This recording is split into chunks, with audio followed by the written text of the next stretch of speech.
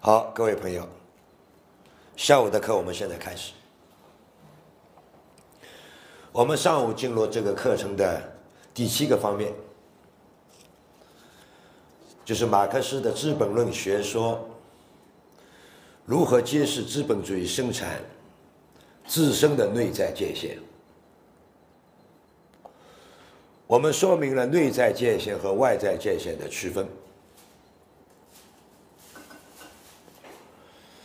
比方说，前资本主义的生产关系、生产方式，它都会遇到在它之外的其他一种文化或者别的生产方式的限制，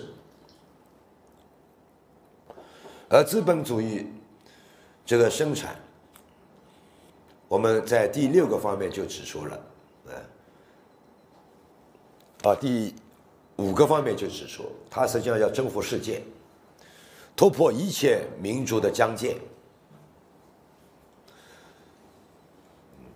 它让不同民族的文化的差异在资本面前消减。东方民族任何一个国家都无法避开这样一个资本主义的这个生产方式。当然，现在这个地区上还有少数若干个还顶着那里，是吧？比方说北朝鲜。但早晚一天，这个国界会被突破。所以它资本主义生产方式呢，它不是遭遇到外部的界限、外在的界限。呃，伊斯兰世界也无法拒绝资本对它的渗透，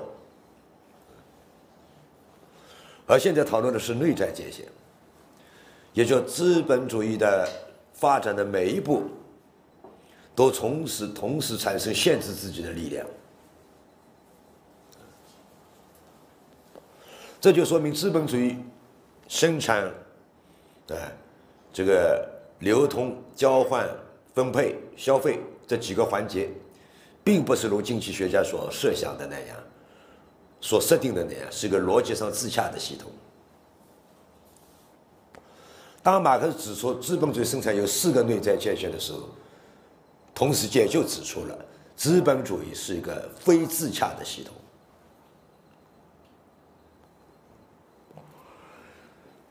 那么有哪些界限？四个，四个内在界限。第一个就是这这个话是马克思的原话啊，必要劳动。是活劳动能力的交换价值的界限。我们能读懂这句话。所谓必要劳动，我们昨天讨论了，在一个劳动者的时间一定的时间段里边，啊，它区分了两个部分，一个是必要劳动，一个是剩余劳动。必要劳动所创造的新价值，等于企业家偿付给这个劳动者的什么工资部分。剩余劳动呢？他不能说劳动到他正好创造的价值正好等于新价值等于工资的时候，他就离开劳动过程。如果是这样的话，整个资本主义生产就不能实现它的一个目标——剩余价值。生产资料转移到新产品上去，它叫转移，不叫增加。嗯，那么企业家的另外一笔投资就是工资，叫可变资本的投入。所谓工资是可变资本，所以运用这笔工资，它可以带来什么？这个剩余价值。假如没有带带来剩余价值，那么公司所代表的价值也转移到新产品的价格价值上去了，啊，生产资料有两种，一种原料全部转移到新产品，一种是机器设备以折旧率的方式转移到新产品上去。那么整个资本主义生产过程就失去了它的目标，叫价值的增值，是吧？剩余价值不存在，所以一定有一块。整个劳动时间一定有另一个部分叫剩余劳动。好，现在我们看这句话，必要劳动，我们说知道它所指的是什么？创造工资所代表的价值部分的劳动。那么活劳动能力是指什么？就劳动力。劳动力成了商品了，是吧？既然是商品，就有交换价值。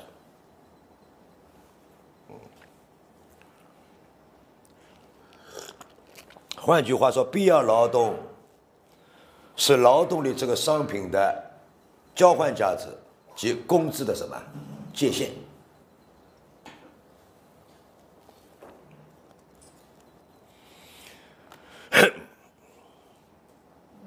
这是第一个内在界限。它意味着什么呢？它为什么能说明资本这个系统有这一个方面的非自洽性呢？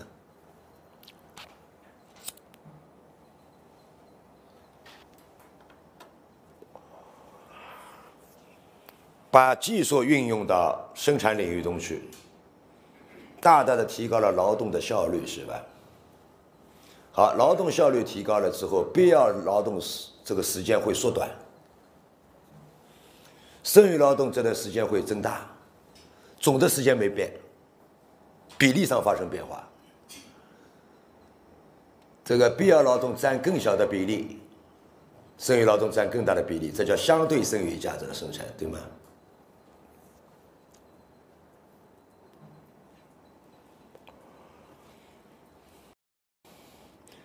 那么劳动者的工资呢？就这个劳动力商品的交换价值呢？它会不会随着剩余劳动时间的扩大而扩大呢？不可能的。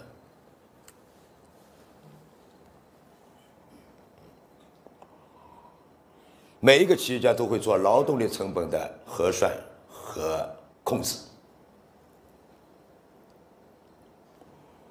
如果劳动必要劳动时间的比例进一步缩小的话，它会发生什么事情？裁减工人，我不需要那么多人，是吧？我技术提高了，就原来的工资水平不会随着生产效率的提高而增大，这是不会的，不可能发生的事。所以必要劳动这个比例规定了什么？工资。在整个新创造的价值中的比例是限定住的。新创造的价值分两部分，一部分叫工资，一部分叫剩余价值，是吧？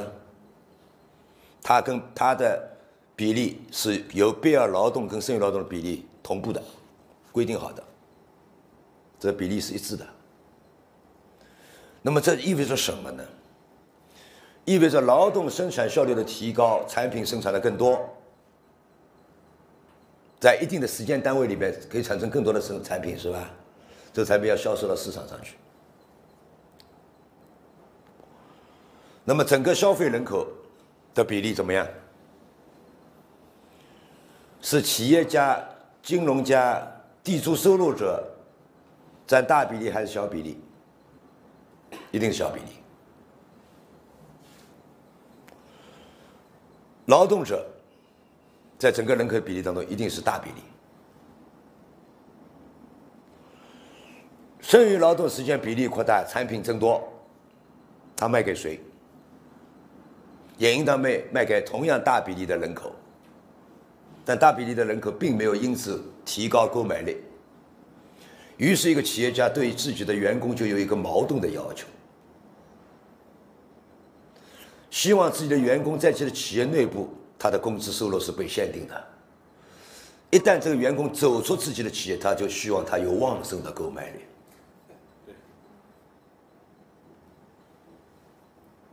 才能把那个由于生产效率提高而生产出来那么多的商品卖买掉、购买掉。一方面，他害怕着生产过剩，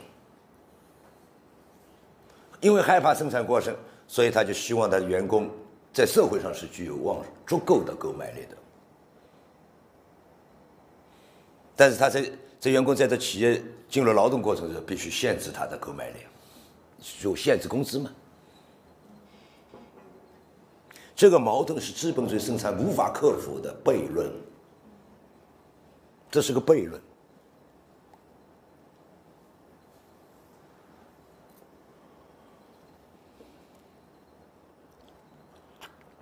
西方现在面对这种悖论，它的主要解决方法是什么？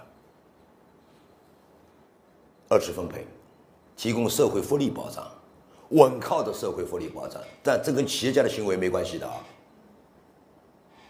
跟资本主义生产本身没什么关系，而是国家的什么政治的调节。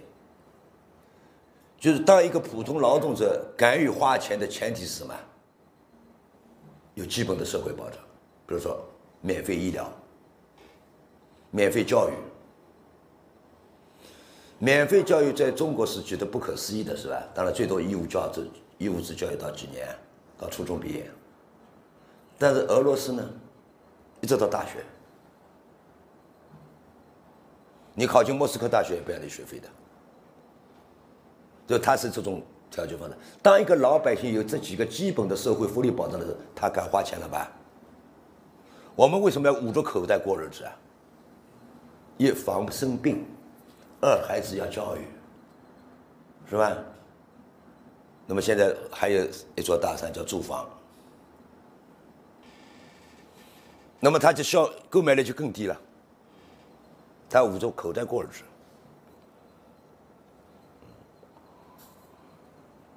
所以生产过剩危机就难以避免了，是吧？西方人只能通过什么？他们用资本主义经过几百年的发展嘛，哎，终于认识到。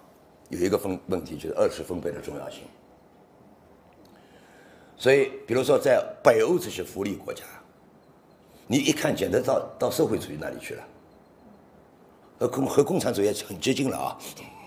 哎，因为它人口少，哎，资本主义经济发展的非常成熟发达，是吧？那么在这种条件下，它可以把无产阶级和资产阶级矛盾转移到什么其他国家去？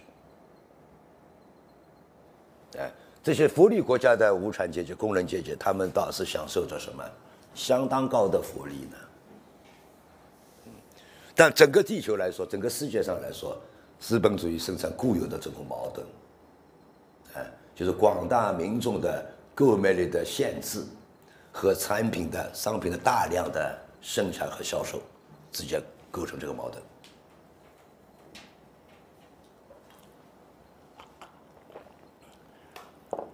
这是一个悖论。好，我们再来看第二个悖论。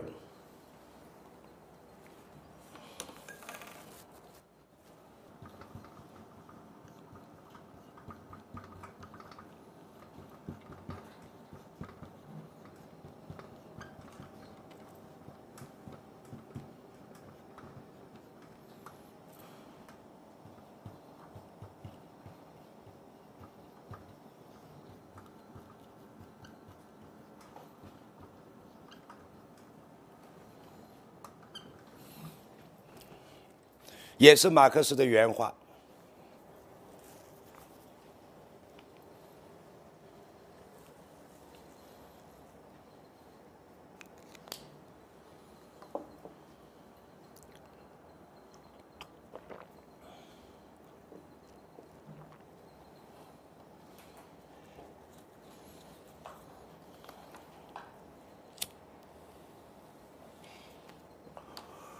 剩余劳啊，剩余价值是剩余劳动和生产力发展的界限。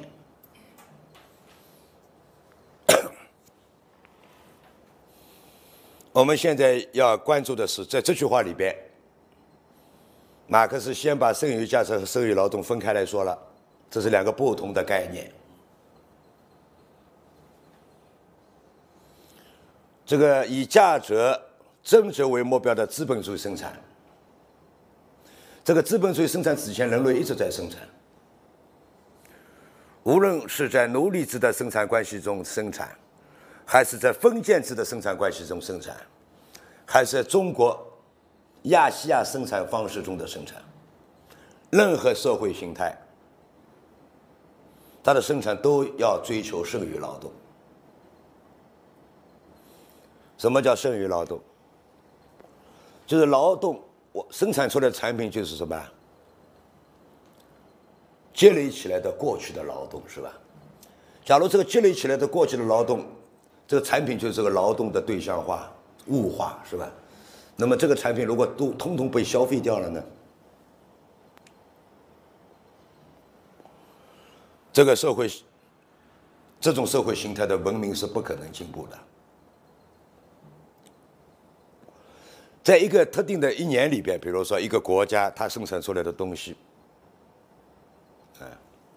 要有一部分是积累放在那里，这个积累主要是生产资料、生产工具的积累，它代表这种生产力。剩余劳动越是积累的多，人对自然界的自由越是大。剩余劳动会让一部分人从劳动领域当中解放出来，从事艺术、哲学、科学，啊，在古希腊奴隶社会里边有剩余劳动吗？有。这个剩余劳动是谁提供的？奴隶。奴隶生产的东西，一方面要自己作为生活资料，否则他不能活；其余的都给了谁啊？奴隶主。奴隶主拿了这些东西以后，一方面是自己什么可以保证生活，另一方面无需劳动，于是可以自由的从事什么文化方面的创造。古希腊灿烂的文明，它的前提就是希腊古希腊的奴隶制，所以在奴隶制阶段也有剩余劳动，但剩余劳动的量小。到了封建社会，那么要比奴隶制进步了，剩余劳动更多了，但剩余劳动还剩余劳动，不能叫剩余价值。这个剩余劳动是什么？它过去的劳动现在物化，物化在什么？使用价值当中，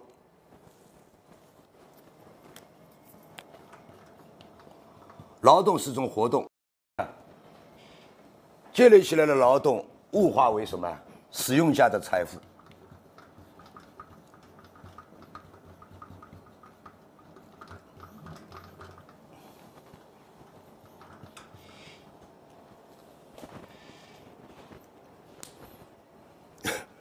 所以封建社会的富裕啊，是以实物形态存在的。啊，良田多少亩，多少顷，牛羊多少，啊，粮食、五谷、布匹，啊，各种各样的使用价值在实物的形态上量大不大是吧？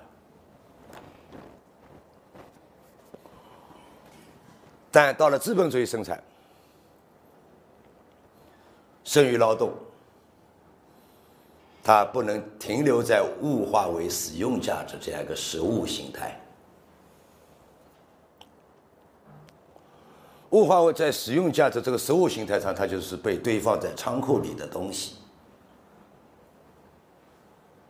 剩余劳动被堆在仓库里了，是吧？就像宝钢当初。仓库里边全是钢材，但是在资本主义生产中呢，你对在仓库里的钢材是不是剩余劳动啊？是剩余劳动。嗯，他如果没有卖成呢，没有在市场上获得获得价值实现呢，它就不是剩余价值。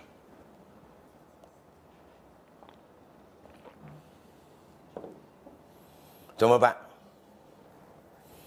由于剩余劳动无法实现为剩余价值，结果会怎么样？各位，如果一个企业它是产品，那么多剩余劳动不能转化为或者说实现为，应该这么讲，实现为剩余价值的话，就不能实现为它最初投资的增值，货币的增值的话，这个企业破产。是不破产了？他投资可能还借款借贷的，自己自己的自有资本的投资倒也算了，我就彻底穷光蛋，算了，我还是一屁股的债呢。我造这个钢炉炼钢炉，我是贷贷款的。我刚才摸不到，我肯定破产，我还有债主上门来找我，然后按照法律宣布宣布破产。呃，因为公司都有限公司是吧？法律也会缓和一下是吧？总而言之是破产。如果结果破产了怎么办呢？整个钢铁行业就结束了吗？不能结束。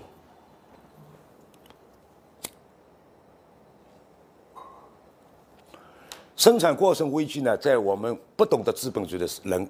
健长的、健全的理性也不懂资本主义啊，我们就觉得很荒谬啊！怎么会过剩呢？哪里过剩了？中国十四亿人口，大家都住上好房子是吧？住上好房子是不是要添置家具啊、装修啊，各种事情全要用钢材的？还有其他领域的生活需要钢材，你把堆放在。宝钢的企业的仓库的钢材，每人送一份，还不够。我告诉你，哪里够？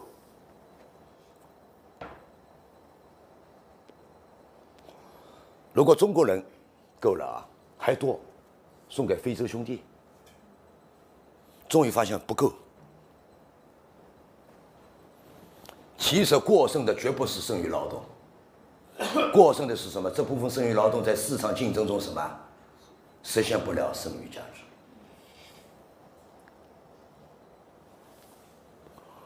则有一个做法，把它毁掉。